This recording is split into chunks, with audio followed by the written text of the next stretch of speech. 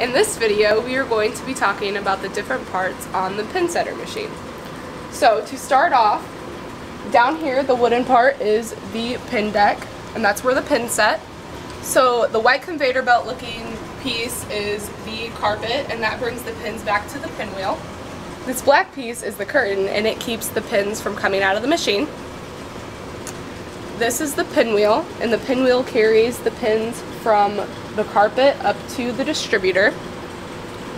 The distributor takes the pins from the pinwheel and moves them to their spot in the bin.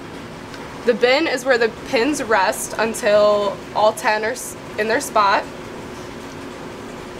Underneath the bin is the table, and right here is a cup cell. It sets the pins down on first ball. Also in the table are finger cells. The finger cells respot the pins when the machine is transitioning from first ball to second ball. The finger cells are connected to the arms, and the arms move them. The finger cells are connected to the arms by linkages. This is where the balls enter the ball return from the pit. Once balls enter, they are brought up from the ball return belt to the front ball return. And the black plastic piece in the middle is the ball return paddle, and the ball return paddle moves back and forth to keep from two balls entering at once. And this is the ball return belt. It is responsible for moving the bowling balls from the pit to the front ball return. Next, on top of the machine, we're going to be talking about the three different motors that the pin setter uses. So over here, next by the pinwheel and the control box, there is the pit motor. The pit motor controls the carpet, the distributor, and the pinwheel, which is also known as the pit, which is why it's called the pit motor. This is the table motor, and it controls the movement of the table up and down. In front of the table motor is the sweep. The sweep moves away excess pins. This is the sweep motor. It controls the movement of the sweep.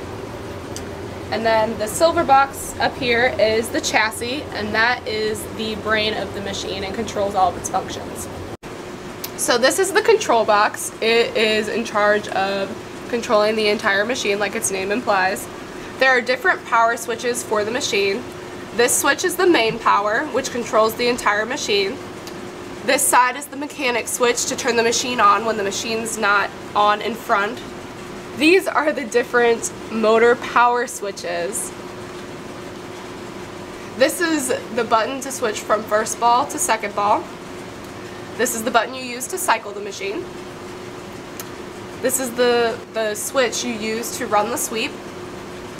And in order for you to use the reverse sweep button, which brings the sweep back up if it's stuck down, you hold down the sweep and the reverse sweep. This is how you use the reverse sweep button.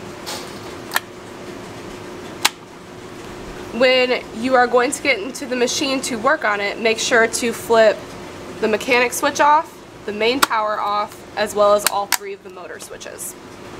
Now we're going to show you what a full cycle of the machine looks like and where all the pins go in the machine using all of the parts. And in order to turn the machine on when it's off like this, we're going to turn on the mechanic switch. So currently the machine is on second ball. We are going to hit the cycle button to get the machine to set down a full set of pins. When the machine detects that there is a full set in the bin, the pins will drop from the bin into the cups that are located in the table. The cups will then turn and set down the pins on the pin deck. The table will go back up into its original position. The machine is now on first ball. The bowler would go ahead and throw their first ball. We're going to pretend that they just rolled their ball and we're going to hit the cycle button. The table will drop, the finger cells will close on the pins to pick them up, and while the pins are off the pin deck, the sweep will come through and push the fallen pins out of the way. The table will set the pins back down and the finger cells will open to leave the pins back on the pin deck and the table will go back up. The machine is now on second ball. The bowler would go ahead and roll their second ball. Any pins left on the deck will be pushed away by the sweep and back onto the carpet. The carpet we'll take them back to the pinwheel, which will bring them up to the distributor. The distributor will then carry each pin off the pinwheel and set them into a spot in the bin. The distributor will place the pins in the bin in the order shown in this picture.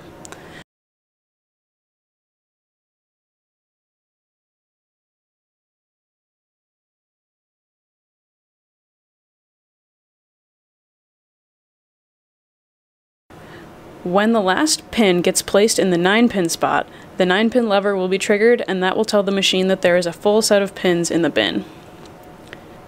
Next time the machine is on second ball, the remaining pins below will be swept away and this full set in the bin will drop into the table and be set down on the pin deck ready for the next frame to start. Now I'm going to show you what happens when the machine needs to cycle, but there's no pin in the 9 spot. So as the last pins get put into the bin, I'm going to grab the last one to prevent it from falling into the 9 pin spot. We will then cycle the machine, the sweep will go through, and it will stay stuck down. It will stay down until there is a pin to trigger the 9 pin lever and tell the machine to set down the next full set.